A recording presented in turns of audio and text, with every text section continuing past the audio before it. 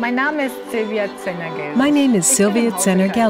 At Carl Zeiss, I'm the product manager for Primo Star iLED.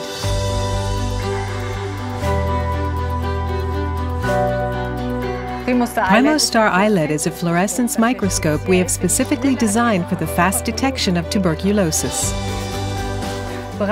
Robert Koch discovered the tubercular bacillus back in 1882, and he was using Zeiss microscopes. Now, as before, tuberculosis is a severe and widespread disease. Every year, about 2 million people worldwide die of tuberculosis, and about 9 million get infected. However, the disease can be cured, provided it is detected early enough and treated consistently. Our modern solution for quickly detecting tuberculosis in the field is PrimoStar iLED. Its LED light sources consume little energy and can be operated on a battery pack, so that the instrument is ideal for use in remote regions.